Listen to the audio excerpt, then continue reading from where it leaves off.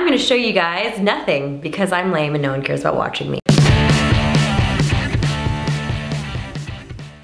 Hi everyone, welcome back. If you haven't already, please subscribe and like this video when you're done watching it because this week I'm gonna show you guys a tutorial on how to do some waves with a flat iron. When you're running late to work or you just kind of want to look good and don't have a lot of time, flat irons are a little more safe instead of a curling iron. So let's get started.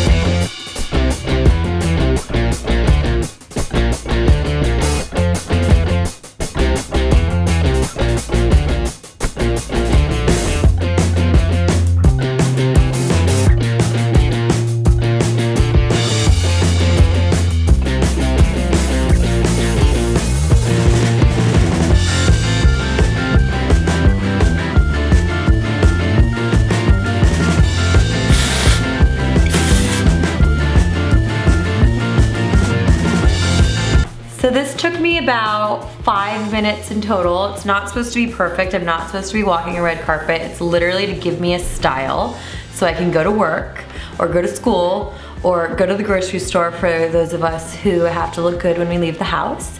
It's really textured and beachy. It's kind of just got its own flair to it and it'll look different on everyone no matter who does it and you could do shorter strides to make it more wavy or longer strides to keep it on the more straight side let me know what you guys think in a comment below and be sure to like this video. Bye